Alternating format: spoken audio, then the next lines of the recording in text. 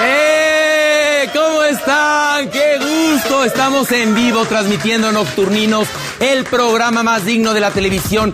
Hoy tenemos un programa maravilloso. La Supermana salió a la calle y van a ver lo que encontró. ¡Oh! Además está Mamamela con el manual de Carreño según Mamamela. Sketch de las VIP. Sorpresas. Una, una sorpresa. Quédense ahí. Ah, y por supuesto las notas más importantes del día. Y por supuesto tenemos la foto de la noche. Esta foto, pónganla por favor, es Monterrey. Ponen un puente peatonal y ¿qué creen? Chequen las flechas. Para poder accesar al puente peatonal que supuestamente cruza la avenida, hay que cruzar otra calle. Muchas gracias. ¿Qué padres ingenieros civiles tienen en Montegay? Damas y caballeros, esto es Nocturninos y nosotros comenzamos. ¡Bravo!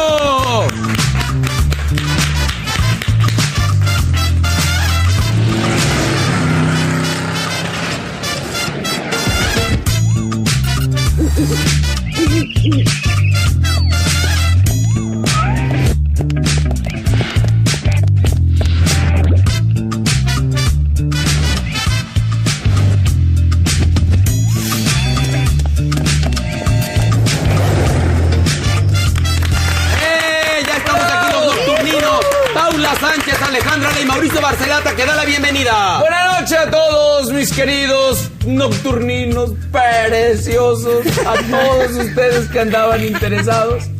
Mañana somos papás, oiga. Una, dos, tres. Hoy tengo que decirte, papá, te quiero más que a nadie. Tarara, ya no me acuerdo. Y a ¿Qué tu sigue? lado. Oye, ya. Barbarita, vas a ser abuela.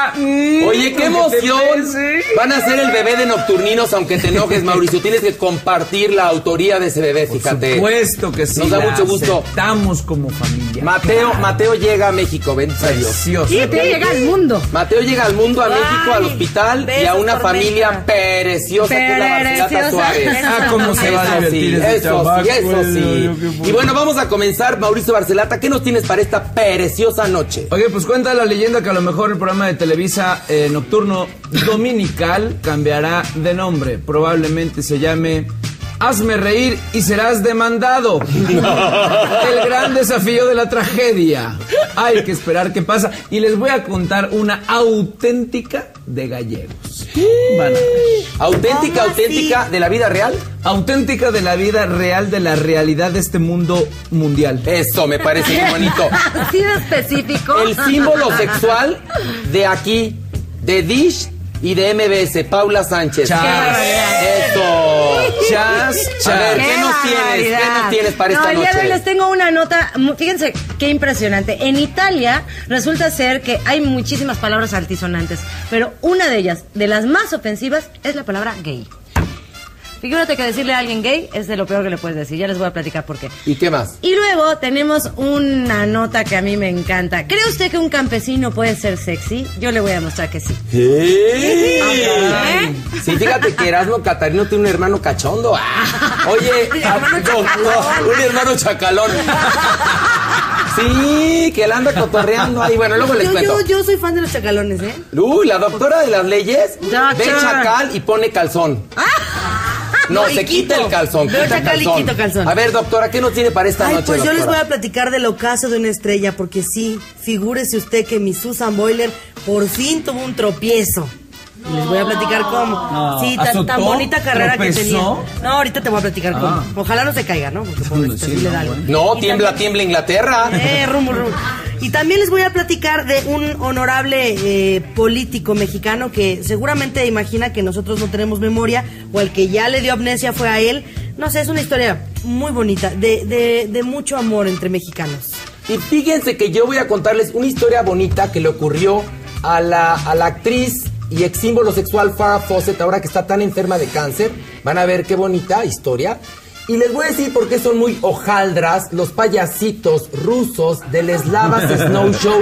Son muy hojaldras, además de que huelen a caquita. Esto y mucho más regresando de una pausa aquí en Nocturninos. ¡Bravo! ¡Bravo, bravo, bravo! Oigan, Ya estamos aquí felices y vamos a comenzar con una nota muy bonita.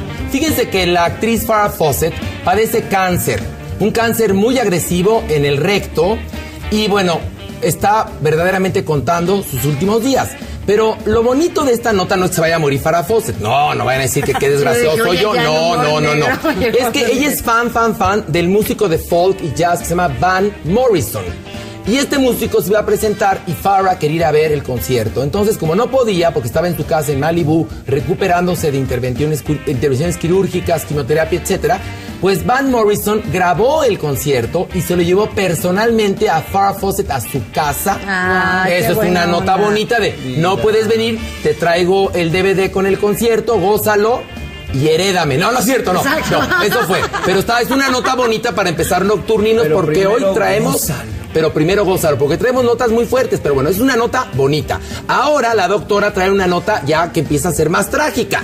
Ya empezamos en lo trágico. Chusquita, a ver, ¿por chusquita, qué? pero trágica, porque ¿Qué pasó? Susan Boyle, porque se llama Boyle, no Boiler como le digo, pero pues, vamos a decir Boiler, así le llamamos, tuvo un tropiezo y esto fue porque, bueno, todos ya sabemos que se hizo muy famosa, cuando eh, en el casting para el reality show Britain's Got Talent cantó maravillosamente.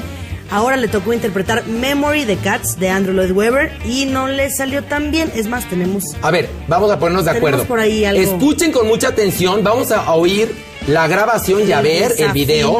que se. Cómo empieza la canción y entra semitonada. que dices? Para que vean que ya la inflaron tanto que la gorda esta sintió picuda. Esta canción es dificilísima, nada más la canta perfectamente Barbara Streisand y creo que Elaine Page. Pero de ahí fuera, Naiden más, como dirían en mi pueblo. Pongan por favor el video, escuchen, pongan atención cómo entra semitonada. Pónganlo.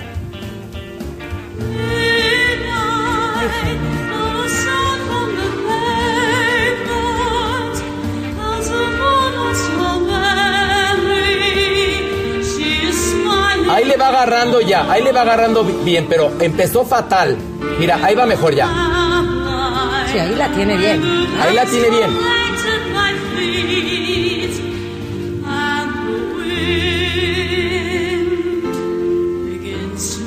Se parece a Rocío Banquel, se engorda, ¿no? Ahí con todo lo que le arreglaron. A ver, regresen con nosotros, por favor, cabina. Regresen con nosotros. Yo quiero ver si se puede, ya que ustedes son muy picudos, que volvamos a escuchar al principio para que vean cómo hacer. Le falta técnica, mi gorda. Sí, le falta técnica y Mira, también. Se le fue. Se le pero sale un una, tiene una voz impresionante. Se le fue. También puede estar muy nerviosa. Imagínate la atención que recibió esta mujer que nunca en su vida había recibido nada. Se Pero yo hartó que creo se que- le olvida el himno nacional. Exacto, ¿Por qué a esta mujer no se le va una nota? Pero también Dios pasa cuando le dan demasiada atención. No estoy diciendo que no sea talentosa ni que tenga una gran voz, pero no podemos pretender que sea perfecta y eso es lo que está esperando el mundo tampoco. O sea, la- a la mujer se le puede ir en alguna, ya se le fue, ya le Ahora, pasó. se le yo fue. insisto, ¿Qué perdón, insistes? insisto en que es parte de un montaje todo también. Digo, no que haya desafinado, pero nuevamente vemos este, este presentación de Susan Boyle y vemos las cámaras que corren. Pero, pero ahí, ya será- lentamente. ahí ya es el programa. Ya Sí, no es un claro, casting. pero no están los aplausos, todo Ah, está bueno. como perfecto. Inclusive el momento en el que ella desafina, ¿no? No es un momento como el que hagan mucho caso. No, porque pues, quién sabe qué habrán sentido cada quien en su butaca, pero yo no, sentí. no, no, la producción, no, claro, todos. Yo Para montaje no, porque la señora es virgen, nadie la ha montado, ¿eh? No, No, es virgen. no, ya sé, De no, no, era 48 un montaje de, de, de- La montarán cuando se haga millonaria. Ahí sí Exacto. cualquiera Bueno, se va yo a no sé aventar. si aún sigue siendo virgen después de todo el glamour que obtuvo en su primera presentación. No, yo creo que sí, si no, no hubiera Tuvo buenas ofertas feo. para perder su virginidad. Bueno, ojalá y tome alguna que corresponda a su anchura. Bueno, Mauricio Barcelata, ayer renunció Rafael Inclán a Hazme Reír. Ajá. A ver, cuéntanos un poco de todo este asunto que hasta Derechos Humanos ha intervenido. Pues mira, fue todo un show porque en la, en la- en la emisión pasada Galilea Montijo, Roxana Castellanos y Juan Frese hicieron una broma a Sammy. Sammy, quien es? Es un personaje pues que tiene un humor involuntario que lo aprovecharon ellos de alguna forma. Le hicieron una broma para que lo que Rafael Inclán eh, alegó y dijo que era una falta de respeto a las personas a las personas con capacidades diferentes hacerles una broma de este tipo. Porque Sammy, perdón que te interrumpa, lleva más de 15 años trabajando en Televisa. Él llegó a Televisa como público del calabozo. Es una persona con discapacidades intelectuales que se ha prestado para que se burlen de él toda su vida. Es más, tiene hasta credencial de Landa y contrato con Televisa y tiene tiene manager. Rafael Bueno, Inclán dice que no tiene que, que no es un tipo con capacidades diferentes, sino con capacidades indiferentes, porque es indiferente a todo. ok, pero Rafael Inclán se enoja porque ellas le hacen la broma. Le hacen la broma, él dice que es una falta de respeto, sin embargo Galilea Montijo le dice que es una falta de respeto la que Rafael Inclán tiene para con Sammy, diciendo que es un tipo con capacidades diferentes. Y entonces se arma ahí todo un, un numerito y un desbarajuste para lo cual un grupo de personas hace y levanta una queja en derechos humanos del Distrito Federal para que se investigue todo este asunto. Eh, ahora Rafael Inclán renuncia al programa Hazme Reír diciendo y exigiendo que le hagan unos estudios a Sami